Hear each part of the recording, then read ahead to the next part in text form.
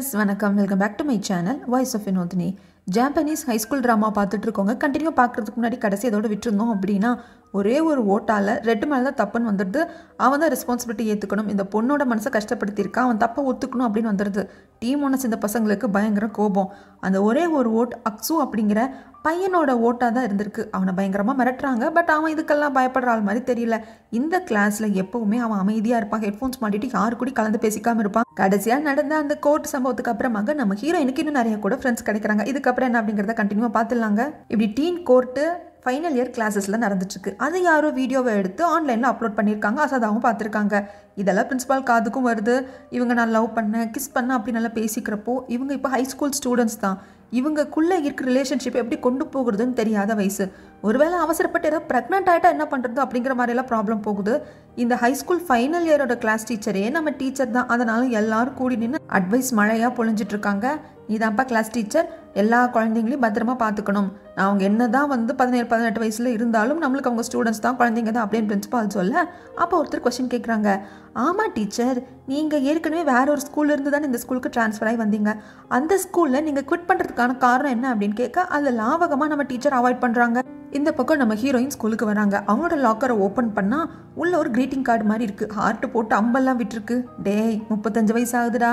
ஸ்கூலுக்கு படிக்க வந்துட்டு அப்படிங்கிறதுக்காக எவன்டா என் ஹார்ட்டில் அம்பு விட்டதுன்னு ஹீரோயின் பார்க்க இந்த பக்கம் டீச்சர் வந்து கிளாஸ் எடுக்க ஆரம்பிக்கிறாங்க. அப்படி கிளாஸ் போய்கிட்டே இருக்கிறப்போ டீம் ஒன்றா சேர்ந்த பசங்க என்னைக்கு கிளாஸ் கவனிச்சிருக்கானுங்க? அவனுங்க நம்ம டீச்சர் கிட்ட ஒரு கொஸ்டின் கேட்குறாங்க சார் உங்களுக்கு கேர்ள் ஃப்ரெண்ட் இருக்கா? அப்படின்னு சொல்லிட்டு ஏன்னா கடைசியாக நடந்த கேஸில் கேர்ள் ஃப்ரெண்டு சீட் பண்ணிட்டான் கிஸ்ஸு அப்படின்னு சொல்லி பல பிரச்சனைகள் போச்சு இல்லையா? ஸோ எங்களுக்கெல்லாம் கேர்ள் ஃப்ரெண்டு இருக்குது நாங்களும் எங்கள் லைஃப்பில் தானே பார்த்துட்ருக்கோம் உங்களுக்கு கேர்ள் ஃப்ரெண்ட் இருக்கா? அப்படின்னு கேட்குறதுக்கு இந்த கொஸ்டின் டீச்சரை லைட்டாக சங்கோஜப்படுத்துது.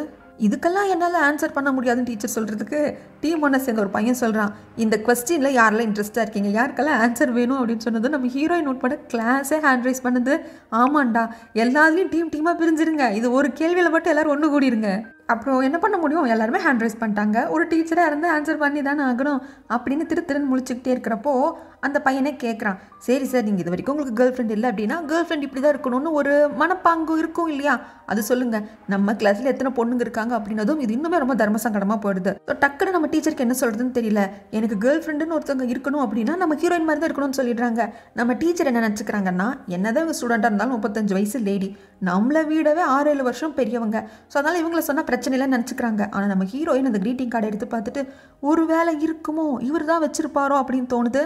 டீம் ஒன்றில் இருக்கிறவங்கெல்லாம் அந்த கொஷினை கேட்டு நம்ம டீச்சரை தர்ம சங்கடப்படுத்திட்டாங்க. அதுக்கு கிளாஸில் இருக்கிற மற்றவங்க மேலே ஒரு கோபத்தை கட்டிட்டு போகிறாரு அதுக்கப்புறம் எப்பவும் போய் உட்காந்து தன்னோட ரேங்கிங் எப்படி இருக்குன்னு பார்ப்பாங்க இல்லை அந்த இடத்துக்கு வந்து நம்மளோட டீச்சர் உட்காரப்போ ஹீரோயின் வந்து உட்காடுறாங்க ஏன் இப்படி இருக்கீங்க? ஏன் எப்போ பார்த்தாலும் ரேங்கிங் ரேங்கிங் பார்த்துக்கிட்டே இருக்கீங்க? நீங்கள் ஒரு நல்ல டீச்சராக இருங்க.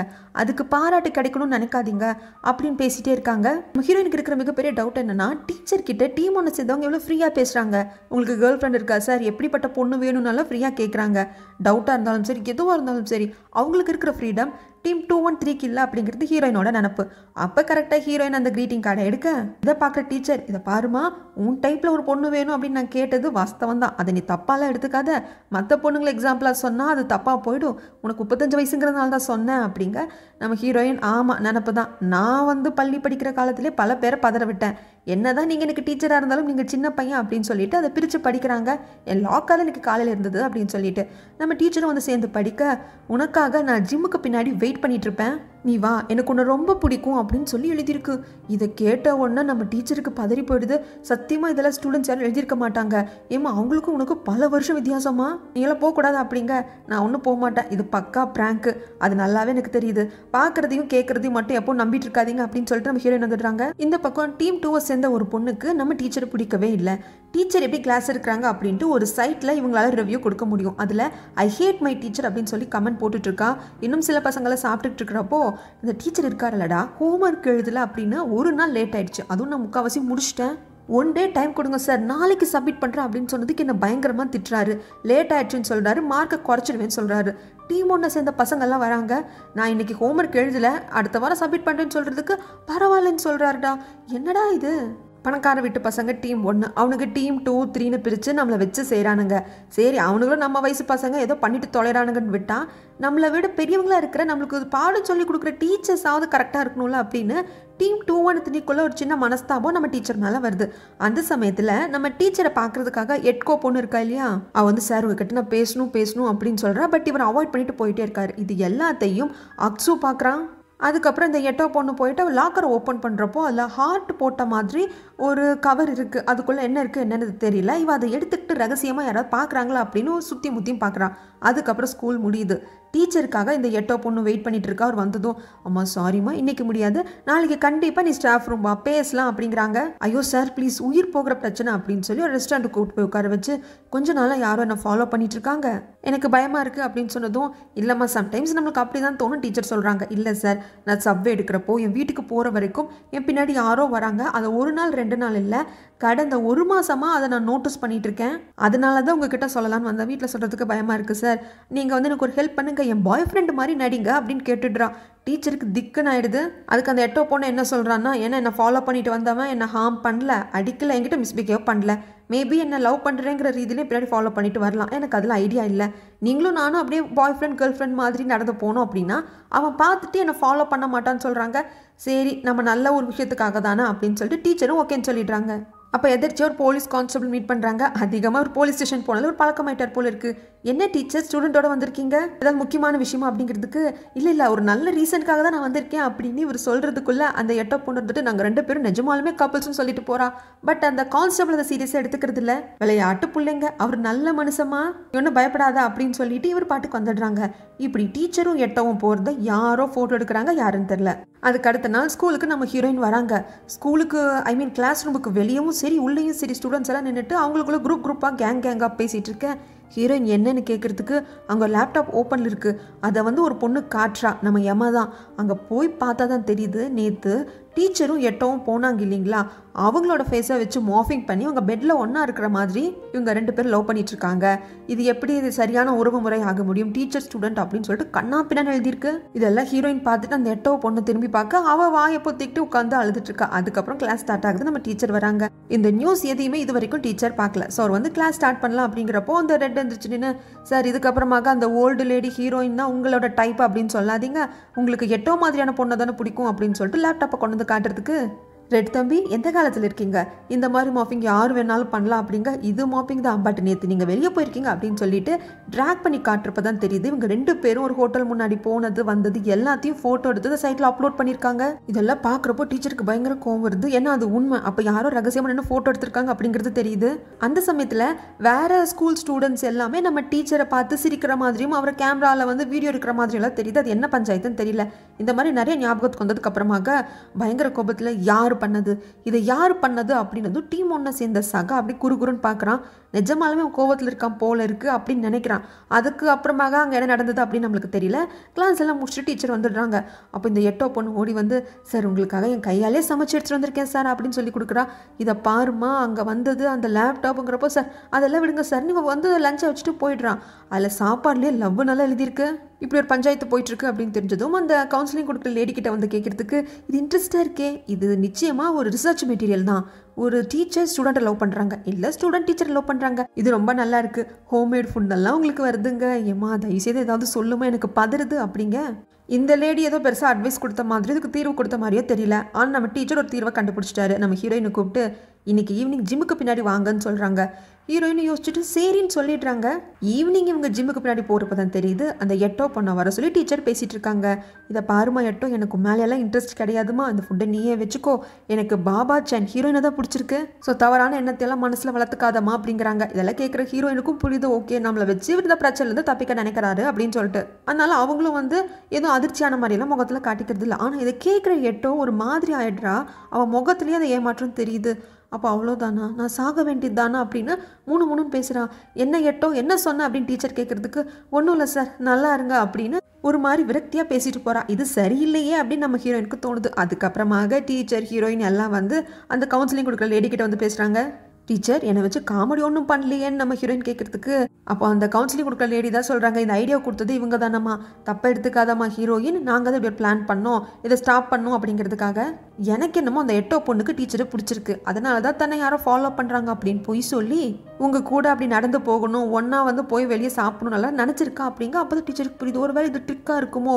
எட்டோக்கு நம்ம மேலே வந்து பிரியம் இருந்தாலும் இப்படி பண்ணியிருக்காளோ? அப்படின்னு தோணுது.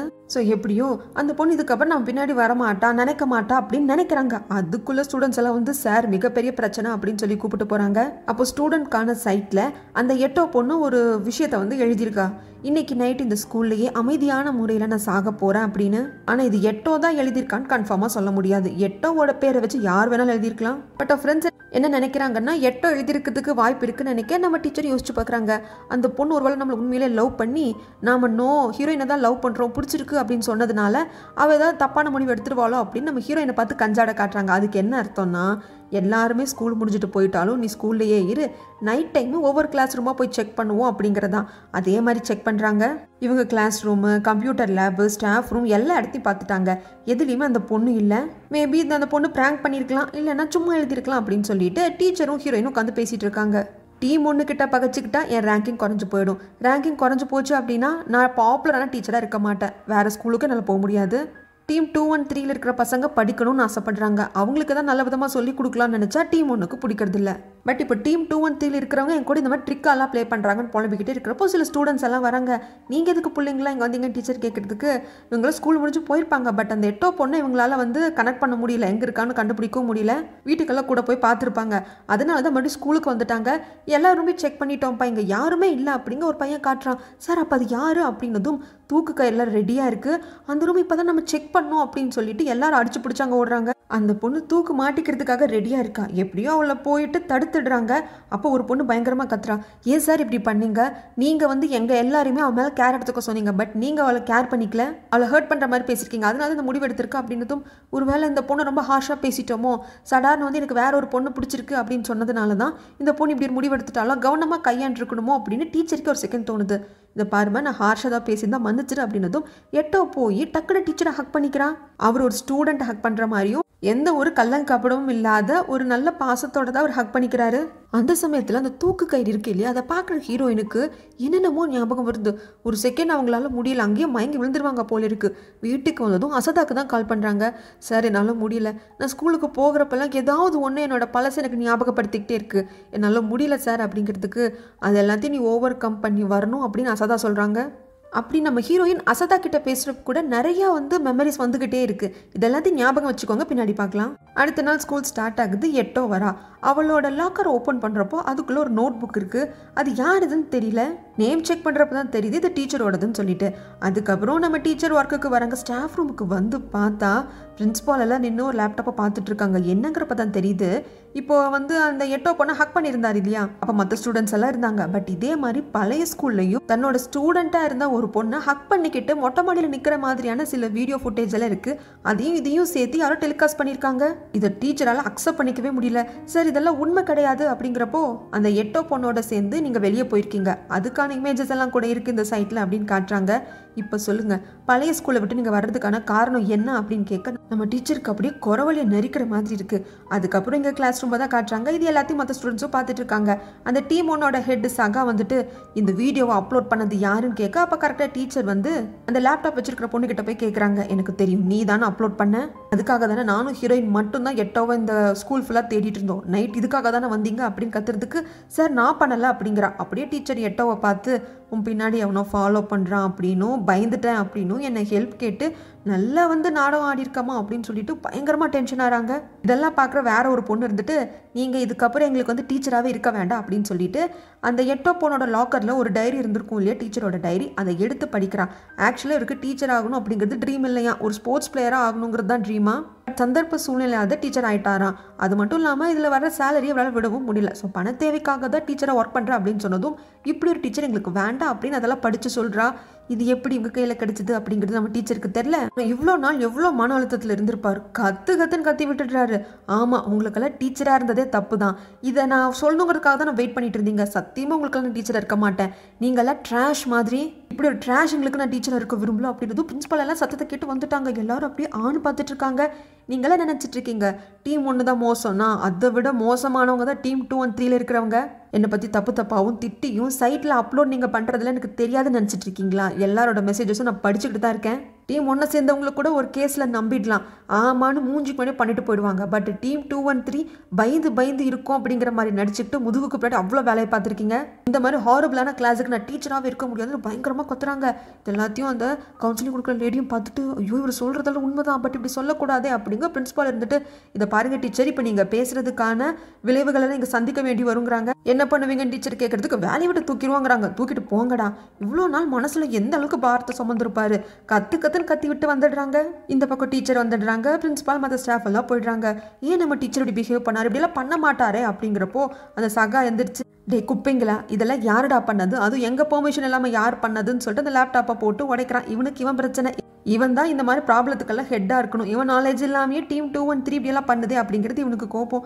மொட்டை மாடியில் வந்து நின்றுட்டு டீச்சர் ரொம்ப ஃபீல் பண்ணுறாரு இவர் ஸ்ட்ரெஸ்ஸை குறைக்கிறதுக்காக தம் அடிப்பார். ஆனால் ஸ்கூலுக்குள்ளே டீச்சர் தம் அடிக்கக்கூடாதுங்கிறதுக்காக ஒளிஞ்சு ஒளிஞ்சு தம் அடிப்பார். இப்போ எவன் பார்த்தா என்ன? பார்த்துக்கோங்கடா என்னமா பண்ணுங்கடா அப்படின்னு சொல்லி தம் அடிச்சுட்டு இருக்கிறப்போ நம்ம ஹீரோயின் வந்து என்னதான் பிரச்சனைன்னு கேட்க ஹீரோயின் கிட்ட சொன்னால் கொஞ்சம் மனசு தேவலாம் போல இருக்கும் அப்படின்னு அவருக்கும் தோணுது. டீச்சருக்கும் யாராவது ஒருத்தர்கிட்டயாவது கொட்டணும் இல்லையா? அப்போ தான் பழைய ஸ்கூலில் என்ன நடந்தது அப்படின்னு டீச்சர் சொல்ல இதுக்கப்புறம் நடந்தது அப்படிங்கிறத நான் அடுத்த வந்து சொல்கிறேங்க இது வரைக்கும் ஸ்கிப் பண்ணால் பொறுமையாக பார்த்ததுக்கு ரொம்ப நன்றி. என்னோடய எக்ஸ்ப்ளனேஷன் எப்படி இருந்தது என்னோட ட்ராமா செலெக்ஷன்ஸ் எப்படி இருக்குன்னு சொல்லிட்டு மறக்காமல் கமெண்ட் பண்ணுங்கள் என்னோட மற்ற சேனல்ஸோட லிங்க் என்னோட சோஷியல் மீடியாவோட லிங்க் எல்லாமே டிஸ்கிரிப்ஷன் பாக்ஸில் இருக்குது ஒன்ஸ் போய் விசிட் பண்ணுங்கள் கண்டிப்பாக உங்களுக்கு பிடிக்கும். உங்கள் சப்போர்ட் எனக்கு ரொம்ப முக்கியம். தேங்க்யூ